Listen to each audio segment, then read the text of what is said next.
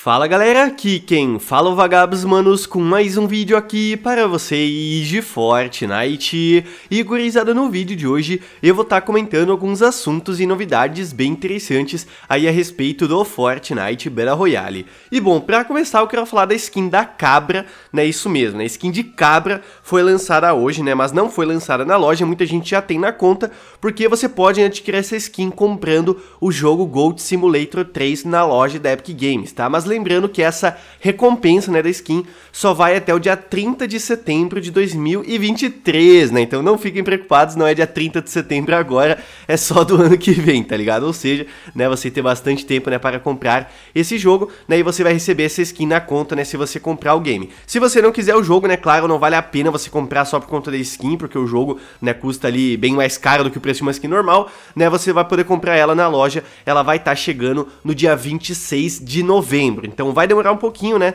A galera que comprar o jogo vai conseguir bem antes, mas não vale a pena você gastar tanto dinheiro só numa skin para pegar alguns dias antes, tá ligado? De qualquer forma, eu achei uma skin, manos, muito aleatória, na minha opinião. Essa parceria é tão aleatória quanto a que teve com o Chapolin Colorado, tá ligado?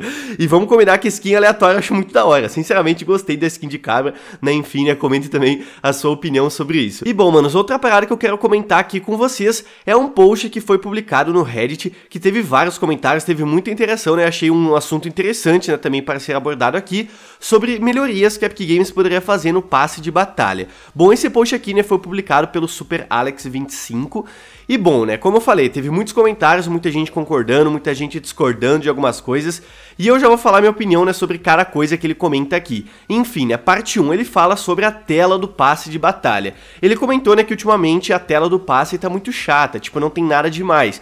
A Epic poderia fazer alguma coisa diferente, né, assim como foi, por exemplo, na segunda temporada do capítulo 2, né, quando o passe de batalha tinha lá uma sessão né, completamente diferente, a gente podia uh, acessar o quarto das skins, aí tinha também a aba do passe em si, que a gente podia ver as recompensas. E ele comentou né, que hoje em dia você só entra ali no passe, pega a recompensa e sai, não tem nada demais. Bom, esse ponto aqui eu concordo, né, inclusive é uma parada que eu já comentei várias vezes aqui no canal, que acho que falta realmente a Epic Games é fazer uma parada diferente no passe. Aquelas telas, né, que tinha interação na segunda temporada, no capítulo passado, terceira temporada, eu achava muito legal. A Epic nunca mais trouxe isso de volta, né? Mas como eu falei, não precisa ser exatamente isso. Acho que só mudando o formato atual, né, fazendo talvez outra coisa um pouco diferente. A Epic Games tem muitos funcionários, tem muita criatividade ali, então acho que eles poderiam pensar numa coisa assim, né, para deixar a tela do passe um pouco mais envolvente, né? Então esse ponto eu concordo. Parte 2, ele fala sobre skin de de categoria 100 que ele comenta, né, que tipo, skin de parceria não se adequa muito bem à categoria 100, já que não tem muito a ver com a história do jogo, seria muito melhor a Epic fazer uma skin né, da história sendo de categoria 100. Ali ele coloca como exemplo o Midas, que foi uma ótima skin para ele, né, e dessa temporada, por exemplo, a Gwen, né, que ele não acha ideal ser de categoria 100, já que é a skin mais difícil da gente liberar. Bom, aí tem pontos importantes, né? Primeiro que geralmente essas skins de parceria são as skins que a galera mais gosta no passe, né? Tipo a Gwen desse passe é o que a galera mais gostou, né? Não tenho dúvidas. Eu só vi a galera falar bem dessa skin. Tipo, a galera fala, ah, tô enjoado de skin de parceria e tudo mais. Mas sempre quando tem uma skin de parceria no passe, a galera adora. Não tem como discordar, tá ligado? Porque realmente é sempre muito bem feito.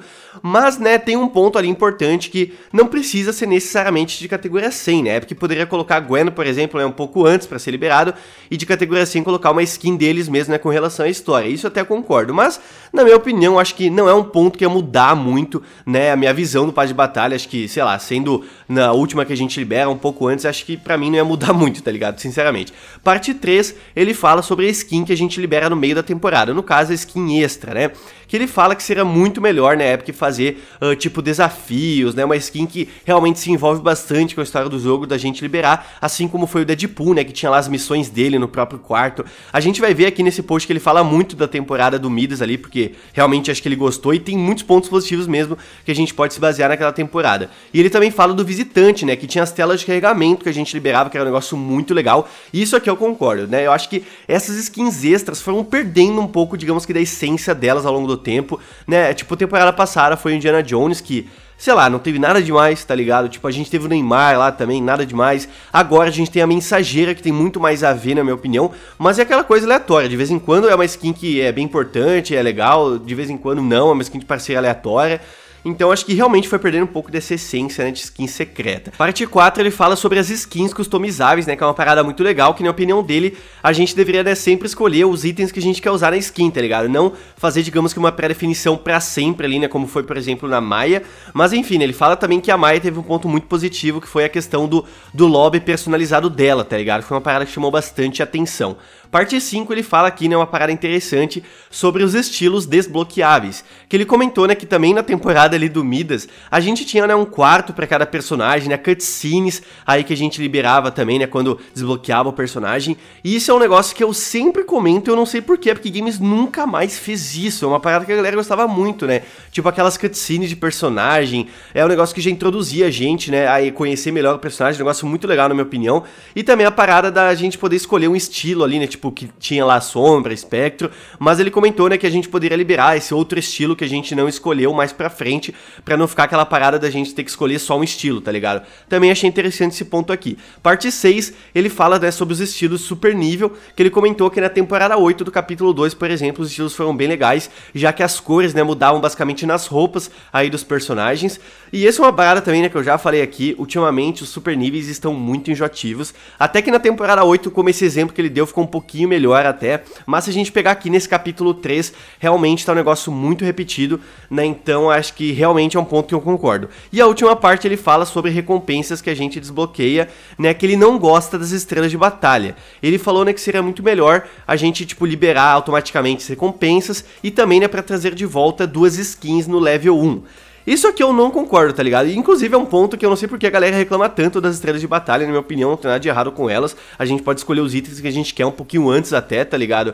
Então eu não sei, eu não vejo nada de errado com as estrelas de batalha. Eu acho que o que mais importa mesmo que ele falou aqui é sobre trazer de volta, né, duas skins no level 1, que uma vez tinha, né, realmente um negócio interessante, porque quando já começa a temporada, a galera, né, antigamente liberava já duas skins, então não tinha só uma skin no lobby, basicamente, e já faz um tempinho, né, que a Epic só vem colocando uma skin no level 1, né? Mas enfim, né, né, um ponto aí que eu não concordo muito, né, com a remoção aí das estrelas de batalha. Bom, minha opinião, vocês notaram então, né, que algumas coisas eu concordo, outras nem tanto. Achei um post interessante porque gerou bastante discussão. Inclusive, né, a galera fala muito do passe de batalha, que ultimamente a Epic não tem trabalhado muito, né, tá faltando um pouco de criatividade, não só para as skins, mas talvez para fazer aquela imersão que a gente tinha mais antigamente, né, com lobbies interativos, com estilos mais diferentes, né, cutscenes que tinha também na temporada do Midas, que ela foi muito citada aqui nesse post, né, porque realmente aquela temporada, questão de página de batalha e tudo mais, a Epic Games caprichou bastante, né? Então comenta aí também o que você acha desse post aqui, né? Enfim, me estendi um pouco nesse assunto, mas é um assunto importante, né? Quero saber o que vocês acham